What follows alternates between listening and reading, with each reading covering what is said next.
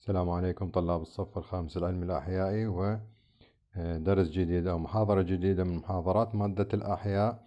وهذه المحاضرة عن آه، الإخراج في دودة الأرض. مثل ما تشوفون هذا راسمنا شكل جهاز الإخراج في دودة الأرض. طبعا تمتلك آه، دودة الأرض جهازا إخراجيا يتكون آه، من خلايا إخراجية تسمى بالنفريديا إذ يتكون جهاز الإخراجي النفريدي آه، في دودة الأرض في كل حلقة من الحلقات آه، بزوج من آه، النفريدية. يعني زوج من الخلايا النفريدية. هذه تقع خلف الحاجز العضلي اللي يفصل بين كل حلقة وأخرى. تشوفون هذا الجزء اللي هو الأمعاء وهذه الحواجز العضلية اللي تفصل بين حلقة وأخرى.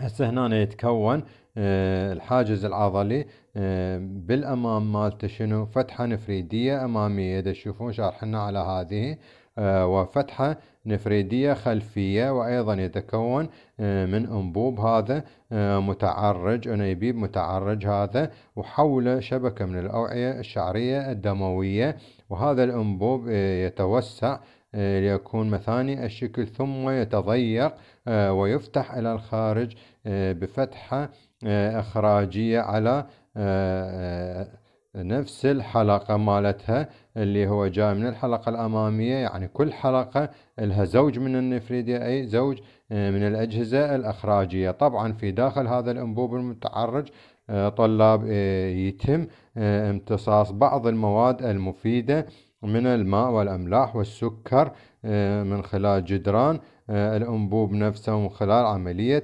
الامتصاص ومنها إلى شبكة الأوعية الشعرية الدموية هذه اللي تحيط بها آه، بينما آه، تطرح المواد آه، الغير مفيدة أو الإخراجية مثل الأمونيا واليوريا إلى الخارج عبر القناة النفريدية مع قليل من الماء. كما أن الأوعية الدموية الشعرية هذه حول النفريدية أيضا تقوم بطرح الفضلات اللي ينقلها شنو؟ الدم آه، من آه، الجسم إلى النفريديا لتقوم آه، بدورها في طرح الفضلات.